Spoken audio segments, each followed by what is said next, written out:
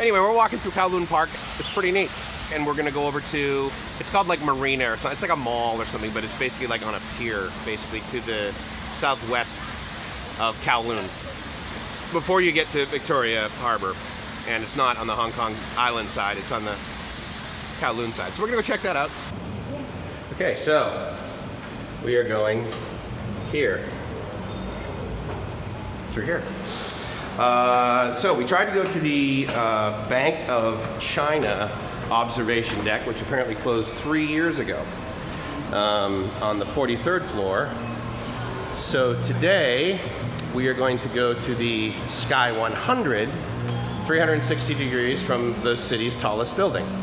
I like the tallest of everything, so that's what we're going to do right now.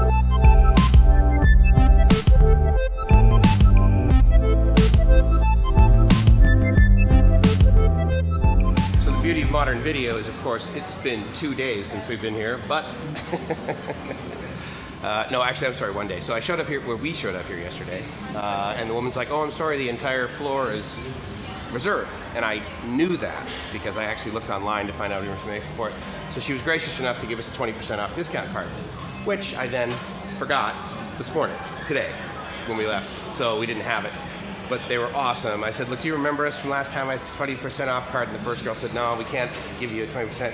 And the other girl said, oh, okay, yeah, yeah, just, and she talked to her in Chinese or Mandarin, something like that. Cantonese, sorry. And, uh, and told her what buttons to push to give us 20% off, which then yielded a ticket price of 150 Hong Kong dollars, or 300 for two of us, or approximately $38 US. So now you're going to join us. This is Only Child Observatory. Oh, okay. So that's this is actually kind of interesting.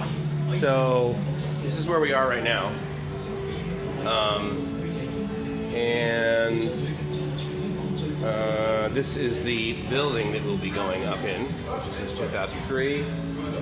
Uh, and this is the this is without labels. Maybe later. We're on the right. Yeah. All right, here we go. Good job, honey.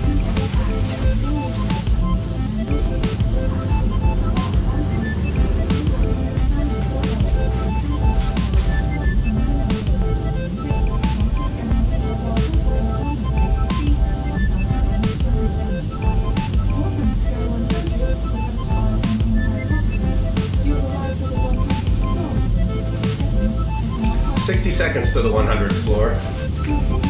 We're at 34, 35, 36 seconds.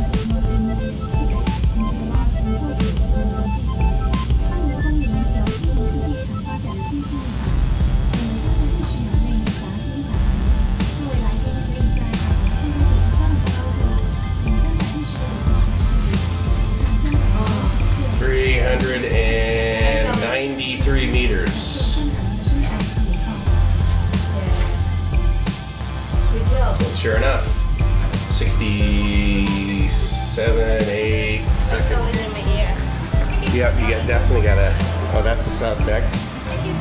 This way, this way. Ta-da! Thank you.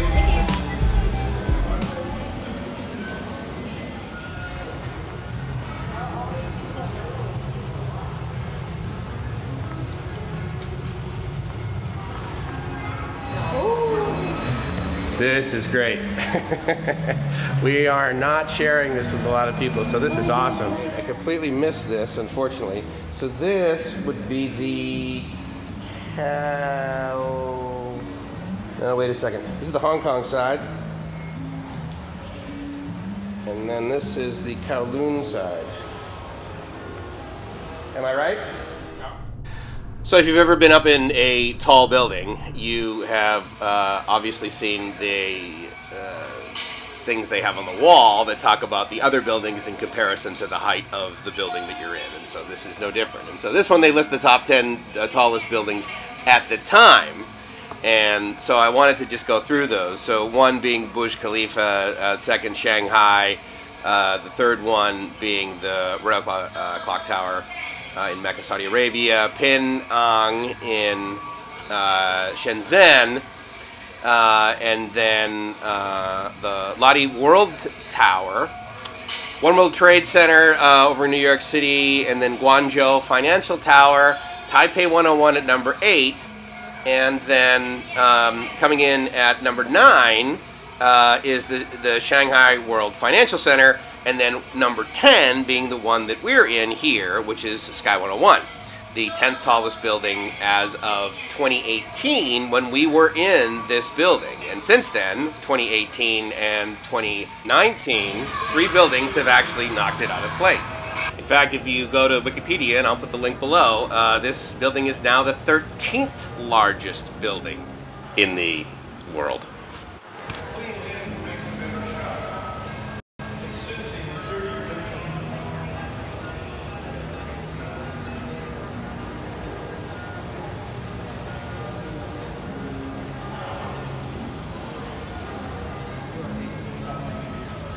That's a pretty cool effect. And look at this. Look at all that construction. All that real estate that used to be whatever else. Prime real estate.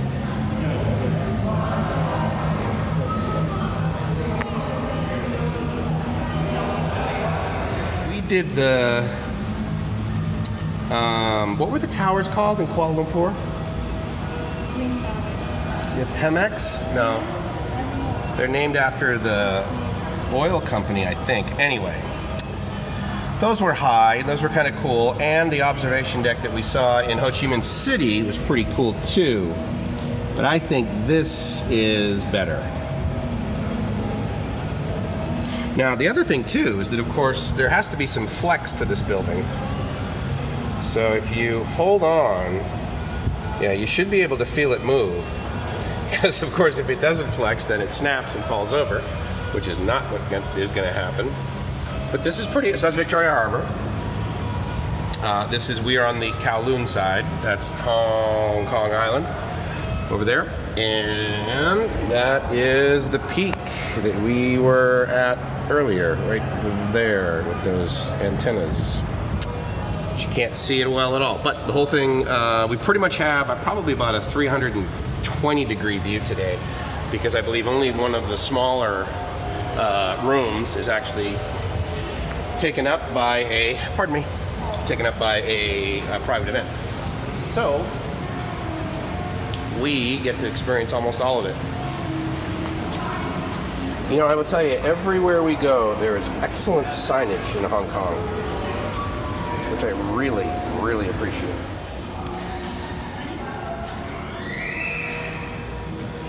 I meet the cutest girls in Southeast Asia.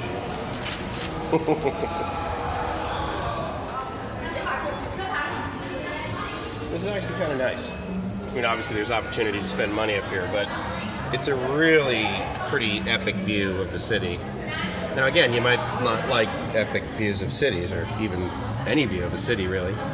And as I've mentioned before, man, I am not a city guy, but something about cities in Southeast Asia, I just thought it was Bangkok. Ho Chi Minh City, though, I like Hong Kong, uh, Hong Kong and Kowloon a lot better than I like Ho Chi Minh City. But I don't know. I might, uh, I might like Hong Kong as much as I like Bangkok. It's pretty, pretty awesome.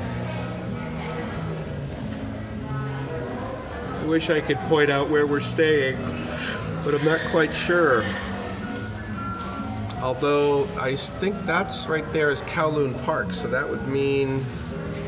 Mm, am I right? Uh, maybe. But I'm trying to think what buildings were near. And there's two of them that have two big antennas on them. And I cannot make them out from here. Uh, anyway. Every, almost every piece of real estate used up, right?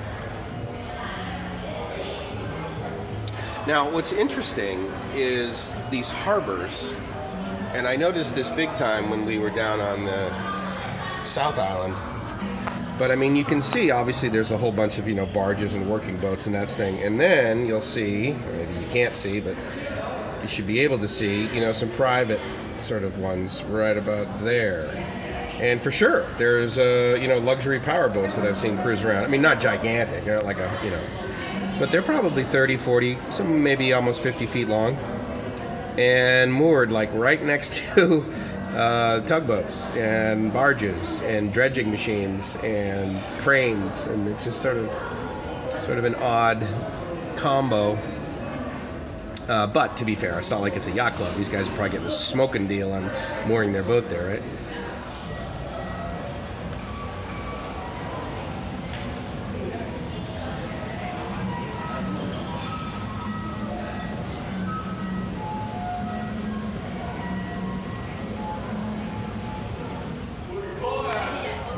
This is pretty spectacular over here.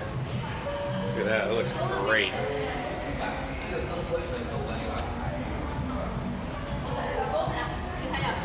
Yeah, I don't know if I'm gonna be able to see that in my camera.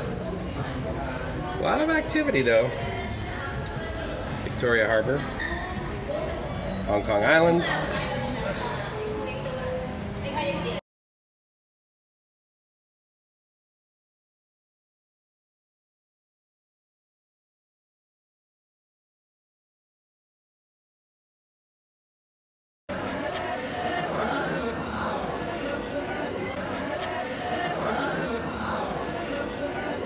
This is kind of cool, actually. So you can buy uh, a postcard, right? And then they have these like rubber stamps there, so you can put that on the address and then send them.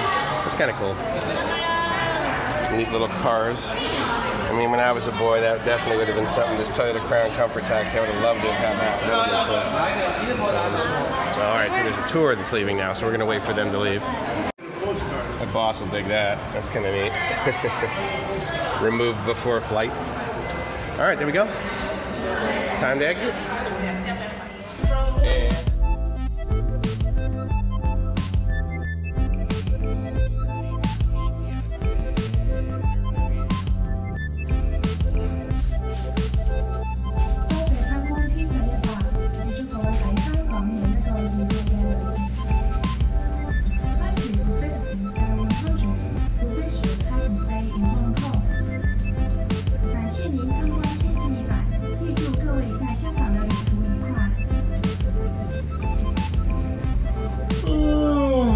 Good day, honey. Good day.